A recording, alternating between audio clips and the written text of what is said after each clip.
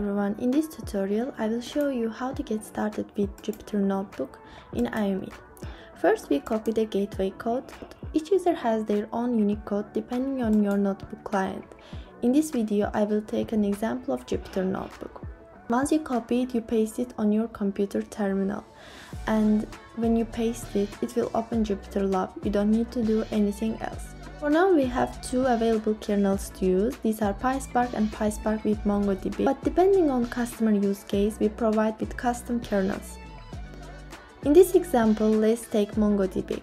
Make sure the status of the kernel is idle. You can check either using app. Click on refresh button and you will see that the status is idle already.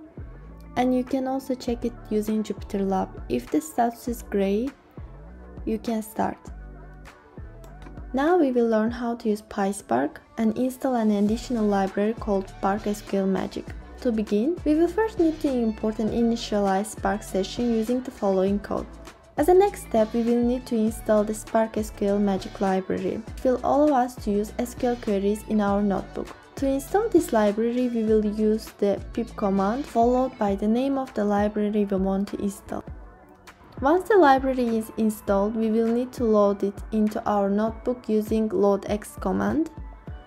And by following these steps, we can easily use PySpark, a Spark SQL Magic library to analyze and manipulate data using SQL queries within Jupyter Notebook.